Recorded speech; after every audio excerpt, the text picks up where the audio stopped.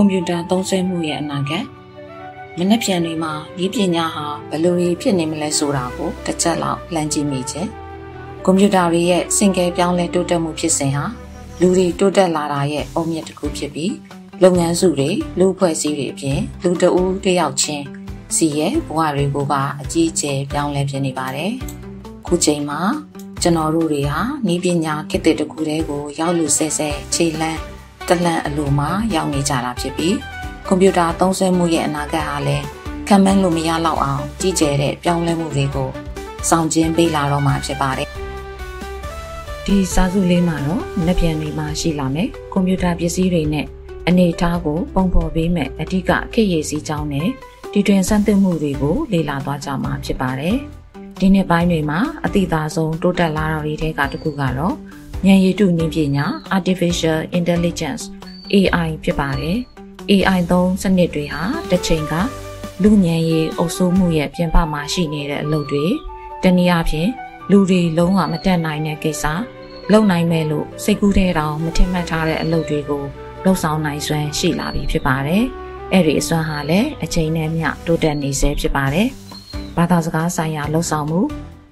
natural language processing ကအစပုံထဲကအရာတွေကိုခွဲခြားထုတ်ဖော်မှု image recognition အစုံအမျိုးမျိုးသော AI တွေဟာမောင်းသူမဲ့ကား self driving cars တွေ drum မဲ့အကူလက်ထောင် virtual assistant တွေယောဂရှာဖွေရေး medical diagnosis ပါဝင်ကျပြန့်လာစွာသောအသုံးချမှုပုံစံအမျိုးမျိုးမှာပေါင်းဆက်ပါဝင်လာကြပါတယ်။အနာဂတ်ကာလမှာဆိုရင်တော့အရင်ကတခါမှစိတ်ကူးတောင်မရင်ခဲ့ဘူးတဲ့နီလန်းတွေနဲ့ လေ့လာသင်ယူတာတွေလက်ရောညီတွေဖြစ်အောင်ပြုပြင်တာတွေပြဿနာဖြေရှင်းတာတွေလုပ်နိုင်တဲ့ကွန်ပျူတာတွေရဲ့အကူအညီနဲ့ AI ဟာ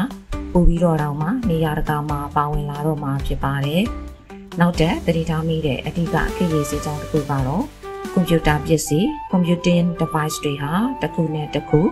တိတ်ပြီးမကွာကြတော့ပါဘူး။တစ်မျိုးနဲ့တစ်မျိုးတိတ်မကွာကြတော့တာပါ။ smartphone smartphone တွေ tablet တွေနဲ့ laptop တွေဆိုတာမတူညီတဲ့ပစ္စည်းအမျိုးအစားတွေပါလို့ပြောလို့မရတော့လောက်အောင်ကိုလောက်ဆောင်ချက်မျိုးစုံကိုလောက်လာနိုင်ကြပြီဖြစ်ပြီး laptop မရှိလို့လုပ်လို့မရဘူး tablet မရှိလို့လုပ်လို့မရဘူးဆိုတာမျိုးတွေကမရှိသလောက်ရှားသွားပါပြီဆိုလိုတာကတော့လောက်ဆောင်ချက်တော်တော်များများကိုခုနကပြောခဲ့တဲ့ပစ္စည်းသုံးမျိုးတွေကဘယ်တစ်မျိုးနဲ့မဆိုလုံနိုင်ပြီဖြစ်ပါတယ်ပစ္စည်း device တိုင်းလိုလိုဟာဆွဲဆောင်သုံးလို့ဖြစ်လာပြီကွန်ပျူတာစနစ်ပါတယ် အိမ်သုံးတဲ့စစ်ပစ္စည်း smart home တွေကနာကိုမှာဝတ်ထားလို့ရတဲ့ smart နိုင်လိုမျိုးပစ္စည်းတွေဒီပစ္စည်းတွေနဲ့လည်းပို့ပြီးတော့ချိတ်ဆက်အသုံးပြုလာနိုင်တာဖြစ်တဲ့အတွက်ဒီရည်စည်းကဆက်ပြီးတော့ဒီလိုပဲဆက်သွားနေုံပဲပုံပါပဲမတူညီတဲ့ကွန်ပျူတာပစ္စည်းအမျိုးအစားတွေရဲ့ကြားခြားနာချက်ဟာမိမ့်မိန်လာပြီဖြစ်တဲ့အတွက်ပို့ပြီးတော့တပေါင်းတစ်စီးတည်းဖြစ်လာမဲ့တစ်ခုနဲ့တစ်ခုပို့ပြီးတော့အပြန်အလှန်ချိတ်ဆက်ပြီး အဆက်အဆက်ရှိလာမဲ့ digital ဂေဟစနစ်ကိုတွေ့လာရဖို့မျှော်လင့်ရပါတယ်။အနာဂတ်အတွက်ကြီးမားတဲ့မျှော်လင့်ချက်တွေကိုဆောင်ကျင်းပေးမယ်။နောက်တဲ့အနေပဲတစ်ခုကတော့ quantum နည်းပညာ quantum computing ဖြစ်ပါတယ်။ခုချိန်ထိတော့အစောပိုင်းကာလအဆင့်မှာပဲရှိနေသေးတယ်ဆိုပေမဲ့ကနဝင်ကွန်ပျူတာ classical ကွန်ပျူတာတွေအတွက်ဖြည့်ရှင်းဖို့ခက်ခဲနေစေဖြစ်တဲ့ ရှုပ်ထွေးတဲ့ပြဿနာတွေကို quantum computer တွေကဖြေရှင်းပေးနိုင်တဲ့အလားအလာကောင်းတွေရှိနေပါတယ်။ကုန်ကျန်းရှာဖွေရေးသိပ္ပံ material science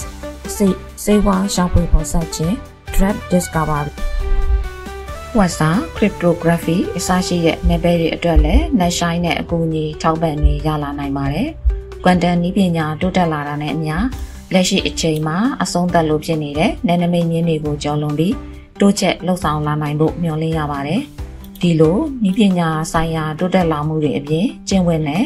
လူမှုရေးဆိုင်ရာစဉ်းစားချက်တွေကလည်းကွန်ပျူတာသုံးစွဲမှုရဲ့အနာဂတ်ကိုပုံဖော်ကြတဲ့အထဲမှာပါဝင်နေပါတယ်။ကွန်ပျူတာတွေစမ်းအားပိုမြင့်လာပြီးလှုပ်ဆောင်နိုင်စွမ်းတွေပိုကောင်းလာတာနဲ့အမျှလူတဦးချင်းစီနဲ့အဖွဲ့အစည်းတွေရဲ့အတွင်ရင်မပေါက်ကြဖို့ကိစ္စတွေလုံခြုံရေးကိစ္စတွေနောက်ဆုံးလူသားတွေအတွက် အလုတ်အကိုင်းအခွင့်အလန်းဆုံးရှုံးလာနိုင်ခြေရှိတဲ့အလားအလာတွေကိုပါထပ်သွင်းစဉ်းစားဖို့အင်မတန်မှအရေးကြီးပါတယ်။ဤပညာရဲ့ကောင်းကျိုးတွေကိုလူသားအလုံးတာရူညီမြဝေခန်းစားကြရစီဖို့ဖြစ်နိုင်ခြေရှိတဲ့စိုးကျိုးအနေရတွေကိုလည်းအတတ်နိုင်ဆုံးရောပါသွားစေဖို့အတွက်ဆိုရင်ကျင့်ဝတ်ဆိုင်ရာအခြေခံတွေနဲ့တာဝန်ခံမှုရှိတဲ့ AI ကျင့်ထုံးတွေဖန်တီးတည်ဆောက်ထားကြဖို့လိုအပ်ပါတယ်။ကွန်ပျူတာသုံးစွဲမှုရဲ့အနာဂတ်ဟာစိတ်လှုပ်ရှားစရာတွေနဲ့ပြည့်နှက်နေပါတယ်။ AI ရဲ့အစင်းမြင့်လာမှုတွေကအစားပစ္စည်း device တွေရဲ့ချိတ်စုစုံလာမှုတွေဟာကွမ်တန်နည်းပညာပေါ်ပေါက်လာမှုတွေအစုံနည်းပညာရဲ့နောက်မျိုးဆက်တွေဟာကျွန်တော်တို့ဘဝတွေကိုနက်နက်ရှိုင်းရှိုင်းပြောင်းလဲပြဖို့တာဆူနေပါပြီ။ဒီလိုမျိုးတီထွင်စမ်းသပ်မှုတွေကလက်ခံကြိုဆိုကြရမယ့်ကိစ္စတွေဖြစ်နေတဲ့အတွက်အဲ့ဓာတွေကိုချင်းကပ်တဲ့အခါမှာတာဝန်သိစိတ်အပြည့်ရှိနေဖို့ဤပညာတွေကိုအသုံးပြုတာဟာကိုယ့်အတွက်ရောအများအတွက်ပါ ကောင်းကျိုးရစေဖို့အတွက်ပဲဖြစ်ရမယ်လို့စိတ်ပိုင်းဖြတ်မှုမျိုးရှိနေဖို့လိုအပ်ပါတယ်။